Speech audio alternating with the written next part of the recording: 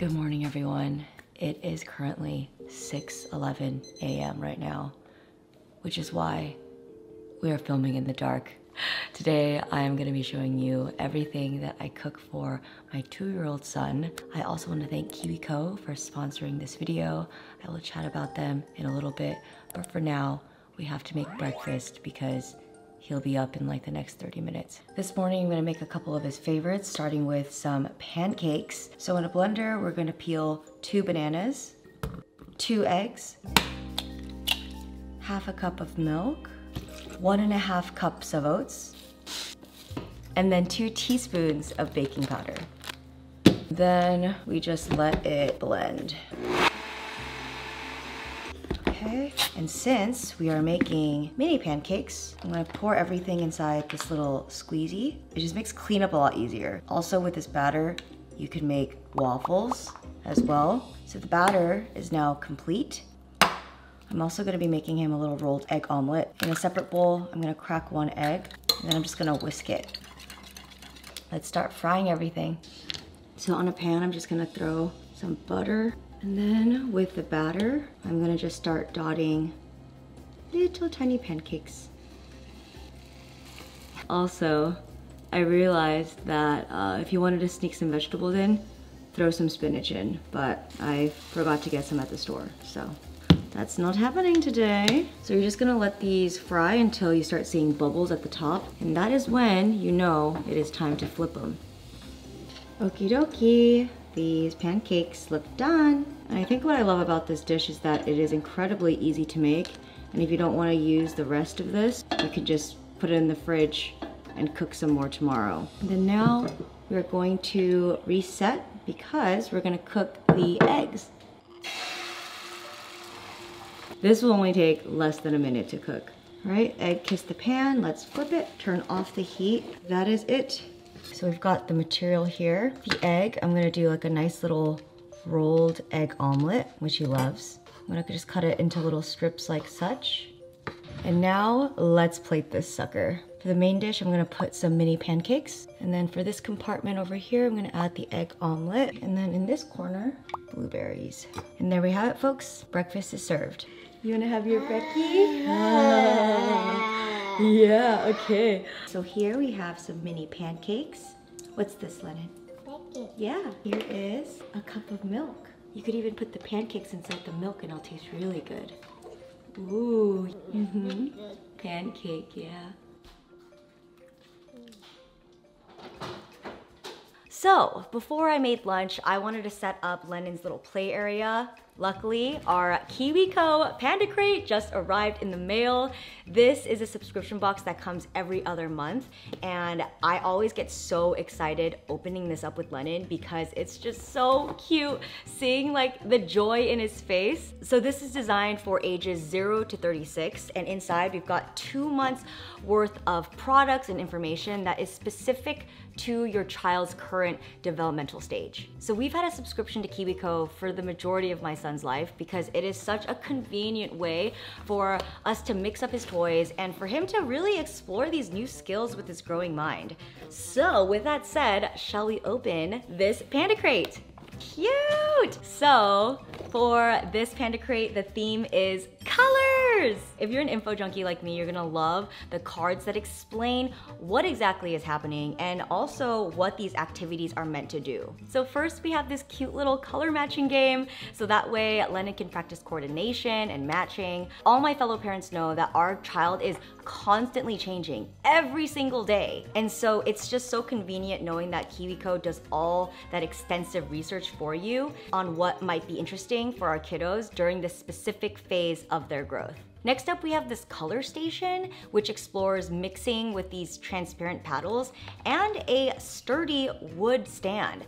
Each one of their products is designed with high quality materials, so it's got longevity, baby. This will also be such a cute hand-me-down for my niece, who will probably enjoy this as well. And finally, we have the Color Lab set. Now Lennon can be a little scientist and mix colors to see what happens. I feel like the most overwhelming thing about being a parent is just the avalanche of information of what's good for your kids, what's not. But KiwiCo really streamlines things because they work very closely with childhood development experts to carefully craft and test each product in the KiwiCo Panda Crate. I love that it's backed by science and it's safe. I'm also really stoked that KiwiCo is something that Lennon can grow with. Like once he graduates from the Panda Crate, there are nine other subscription lines that really cater to whatever your kid's interested, whether that's science or art. So if you guys are interested in trying out KiwiCo for yourself or like gift this to a friend that's a parent, definitely use my code JENNIM for 50% off your first month. I will also leave all that information in the description box. There's gonna be a link there, so click it if you are interested. All right, let's make some lunch now. All right, folks, on the menu for lunch, we have my ground turkey alphabet stew. This is also one of those meals that you just make in bulk and then you just keep it in the fridge or freezer and heat it up when it's time to eat. All right, so let's get cracking. Everything begins with an onion, of course. So I'm gonna use half of an onion. Just gonna dice it. So I'm gonna be using a food processor to help really pulverize it. If your toddler is anything like mine, he avoids vegetables like the plague. So the key is to just mush it. Peel two big carrots. And I make this pretty chunky and then throw them in the processor. Okay, transfer this all into a bowl. And then finally, I've got three celery stalks, which I'm also gonna throw right into the processor. All right, hard part is done. Now let's fry this. All right, grab the biggest pot you have, put it on high. I'm gonna add a bit of oil. Now we're just gonna cook everything all together. Another reason why I love this soup is because I love eating it as well. So me and Lennon both really, really eat this together. Now cook this on medium to high heat for around seven minutes until everything gets like nice and mushy. That's what we're going for. Let's season this with some salt and pepper. Okie dokie. This is looking really good. Now it is time to add the ground turkey. Plop it in and just really pulverize it I'm gonna season with some Italian herb blend. And now I'm gonna add a spoonful of veggie stock. Now I have some hot water and I'm just gonna cover everything, all the contents inside the pot and maybe a little bit more. But honestly, add as much water as you want because that's how much soup you'll get. I'm gonna put it down to like medium low. I'm gonna add one bay leaf. I would, I, I, would honestly, I would put it on low heat actually. Yeah, low heat. And then just let it cook for 15 minutes. This is just to marry all the flavors together. I got a smaller pot, boiled some water, gonna add some salt in it. And now I'm going to boil the alphabet pasta. If you're in like a pinch for time, obviously you can just throw the noodles inside the actual stew. The pasta looks like it's done. I'm gonna turn this off. Let's check on the soup. Wow. Okay, let's get rid of her. Thank you for your service. Now we're gonna add the pasta in. Now we're just gonna mix this all up. All right, should we have a little taste test? Wow. Mm-hmm. Absolutely delicious. Now we just need to serve this up and we're ready to go. In the main compartment, we'll put the soup in. And then in this compartment, I'm just gonna add a couple of little bits of shredded cheese string. And then in the last compartment, some quartered grapes. All right, and we're all finished with Lennon's lunch. Are you ready? It's your veggie alphabet soup. We've got some string cheese and some grapes, uba. For dinner, I am making Lennon's all-time favorite meal, tang. If you've been watching this channel, you have seen me make this recipe, but this is my toddler version. It's not spicy whatsoever, and every time he will eat this. Breakfast, lunch, or dinner. Again, this is a meal that I just make in bulk, store in the fridge, and when he's hungry, when I'm hungry, we can all eat it. First, I'm gonna dice half an onion. I'm going to transfer all of this in this pan. Then you're gonna get an obscene amount of garlic and then add this to the pan. For the protein, I'm gonna use chicken drumsticks. I'm gonna pour enough water so that everything kind of covers. I think I did like two big glasses of water. This is gonna make for a delicious broth. And then for seasoning, I'm gonna do two tablespoons of soy sauce. Normally with dakbokkeumtang, you add like gochujang and like Korean peppers, but this is a two-year-old we're talking about.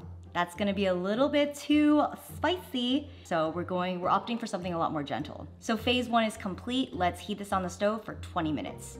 So while that's cooking, let's make ourselves useful and start peeling the sweet potato. Normally, you're supposed to use like regular potato for dakbokkeumtang, but Lennon loves sweet potatoes. Like fun fact, he doesn't really like potatoes, but he will eat sweet potato. So we are catering to him. All right, sweet potatoes peeled. I'm just gonna cut off the edges here. I'm gonna cut it in half. All right, so now that we have quartered the sweet potato, I'm gonna use my handy dandy crinkle cutter so that it's kind of like a fun textural shape. Kids really like this. So we've got the sweet potatoes done. Off camera, I just washed some bok choy, and then we're pretty much all done prepping. All right, my friends, it has been around 15 minutes. Woo! That looks freaking delicious. All right, this is a good time to add the sweet potato. Thing with this recipe is that the chicken comes out so succulent every single time. I think it's because it's surrounded by moisture. And I'm just gonna let it cook for another 10 minutes. Whew, things are popping off. Wow, okay. I feel like this is a good time to add the bok choy. It doesn't take long. And then cover. See you later. Five more minutes tops, and we are done. Ooh, this is looking pretty much done. Heat off. Spoon out. Moment of truth. Ooh! It's delicious. All right, so in this panel, I'm gonna put some fresh, delicious rice. I'm actually gonna do Lennon a favor and I'm going to chop up the chicken so that it's easy for him to eat. This one is gonna go right over here. The sweet potato in this corner over here. He's definitely not gonna eat the bok choy, but they say a kid needs to try something at least 12 times before they know they like it. So here we try again. We just keep trying. There we have it. Dinner is served.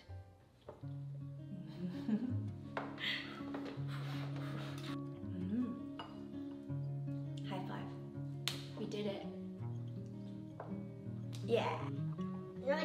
You're sharing with Chiki? No, Didi. You're sharing with Chiki?